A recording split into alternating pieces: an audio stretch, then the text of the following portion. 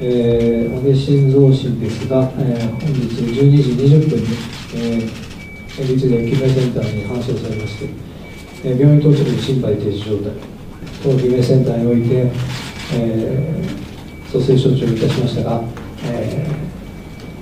ー、残念ながら工事3分にお亡くなりになりました。え、来られた際に、えー、頸部に、えー、2箇所の重創がありまして、えー心臓および大血管の損傷による心肺停止と考えられました。当センターの方で、えー、一つずつ大流血を行いましたけれども、残念ながらというふうな結果になっております。あの当院に搬送されたりしている心肺停止状態、それから救急隊と、それからあとドクターヘリが接触した時点も、同じく心肺停止状態であったと聞いております。有名な状態は、えーと、重曹ということですので、かなり厳しい状態であるということが予測されました。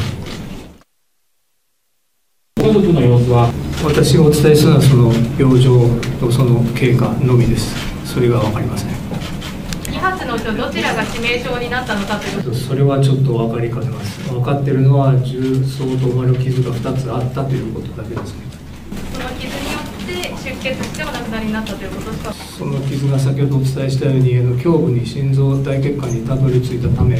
その心臓大血管の損傷したために出血をされたというふうなことでございます。頸部に2つの重重層があったということです。出血死でいいと思います、はい、心臓の傷自体は大きいものがありました、はい、救急隊接触時からずっと心肺停止状態であられました。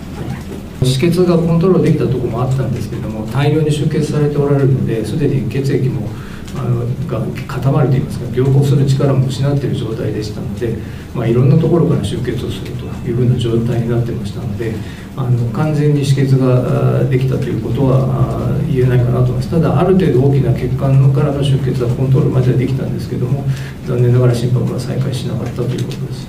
集中治療室には入れませんでした。外来処置室のままです。